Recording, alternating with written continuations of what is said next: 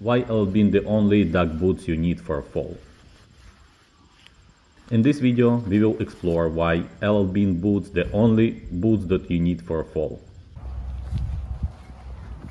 I was walking around LL Bean boots for many years. I like them, but I thought they won't be comfortable enough, plus I had my Blundstones, so I thought that eventually I will end up not wearing them at all. I was wrong.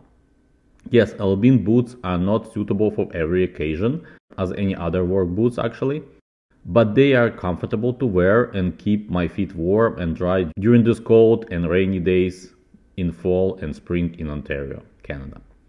They may not be perfect boots for strolling down the city, but you will welcome any rainy weather with them. It is a perfect boot for rainy days or countryside wet and muddy walks. For aesthetics, they are beautiful in their own fashion. Beans are one of the icons of the preppy culture. What I have today for you is the classic 8-inch boots, although this particular model is a limited edition that was sold at the Canadian department store Hudson's Bay. Uh, but other than the color combination, these boots are the same as the classic version. So let's talk about the quality. I did not have a very long run with these boots yet, I got these beans last season and wore them in a rotation.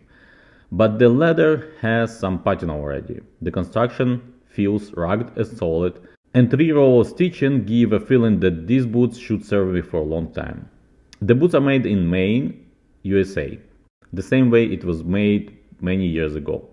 With the construction being sturdy, it's not too neat. You can see many imperfections throughout, which should not affect the quality and the longevity. So how do they wear? I remember when I tried Bean boots for the first time, I was surprised to discover that the boots are comfortable. I was expecting them to be too sturdy and too stiff, but they extended my expectations. Yes, of course, they're not Blundstones, which are the pinnacle of boot comfortability for me. But LL Bean is very comfortable for long walks on trail, parks, and forest. They are easy to put on and pull off. So considering the construction, the comfort level is pretty high. So how to wear it? With their design they are not too suited for urban lifestyle, although I must note that sometimes when it's raining hard or you have snow-mashed streets, these boots can come in handy. They go great with any sort of rugged or country-style clothing, from thick and cozy sweaters to waxed jackets like Barbour and casual tweed overcoats. The company has many configurations of their boots, higher, shorter, warmer options. Even things like Gore-Tex are available for better water protection.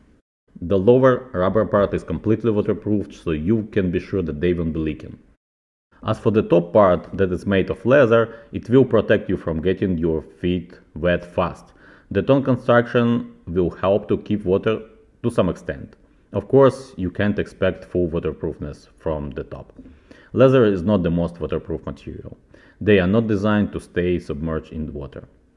Saying that, as I mentioned before, you may find different options for these boots, and there is a version with Gore-Tex, which top would be more protective in a nasty weather. What about the price?